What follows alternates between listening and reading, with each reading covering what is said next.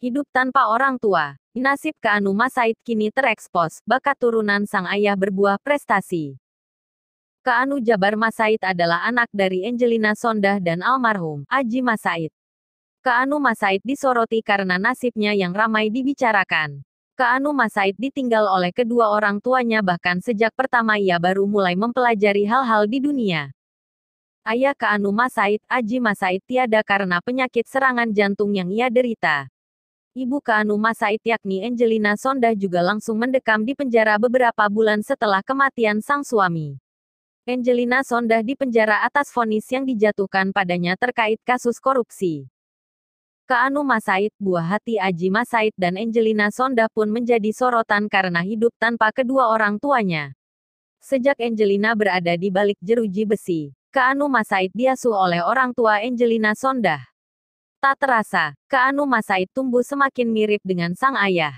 Aji Masaid dan Kaanu Masaid bak pinang dibelah dua yang sama-sama menggemari olahraga sepak bola. Melalui unggahan Facebook sang kakek, Laki Sonda, Kaanu Masaid kerap mengikuti pertandingan sepak bola antar sekolah. Tak tanggung-tanggung, Kaanu Masaid memegang peran penting sebagai penyerang di tim sepak bolanya. Bocah berusia 9 tahun memang memiliki postur tubuh tinggi dan atletis dibandingkan teman seumurannya. Beberapa kali Laki Sonda memamerkan kegiatan sang cucu merumput. Bahkan, kemampuan sepak bola Kanu Masaid kerap memboyong piala untuk timnya.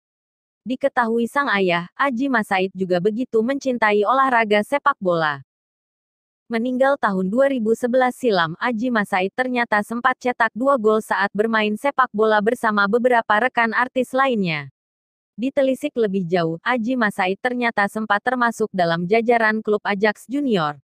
Didikan sekolah sepak bola di Belanda ini membuat gaya hidup sehat mantan suami Reza Artamevia menurun pada sang buah hati, Keanu Masaid. Setelah kurang lebih tujuh tahun mendekam di penjara, kabar Angelina sudah tak lagi sama seperti sebelumnya. Angelina Sonda harus mengalami kejadian pahit saat suaminya meninggal lalu ia juga harus meninggalkan para anak-anaknya. Tujuh tahun berjalan dan mendekam di penjara, Angelina Sonda ternyata memiliki hubungan khusus. Angelina Sonda kini telah menikah kembali secara siri. Adalah Broto Seno, pria yang diduga memiliki hubungan khusus dengan Angelina. Ia juga dikabarkan rajin mengunjungi Angelina di penjara hingga membawakan makanan favoritnya. Setiap akhir pekan, ia mengajak ke Anu jalan-jalan bersama dengan kedua kakaknya, Aliyah dan Zahwa. Angi sendiri dikatakannya sering menanyakan ke Anu dan merasa sedih karena tidak bisa melihat tumbuh kem. Ang anaknya, awalnya, hubungan mereka ditutup-tutupi. Tapi semakin lama, Angi semakin terbuka tentang hubungan mereka berdua. Bahkan pada tahun 2016, kuasa hukum Broto Seno, Firman Chandra, mengatakan kalau kliennya dan Angi sudah menikah secara siri di rutan Pondok Bambu. Tapi belum lama berita nikah siri itu berhembus, datang lagi kabar yang menyebutkan kalau Broto Seno ditahan polisi.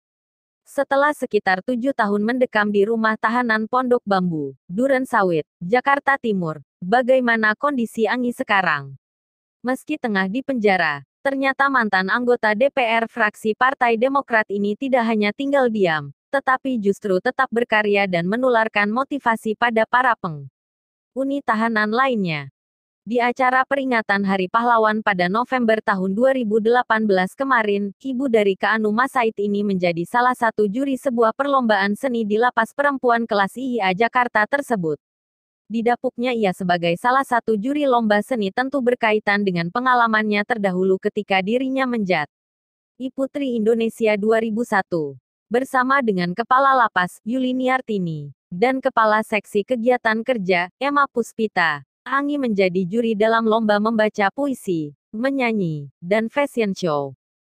Sudah tujuh tahun di sini dan tujuh tahun juga jadi juri kegiatan seperti ini. Senang saja, lucu-lucuan saja gitu, ucap Angi.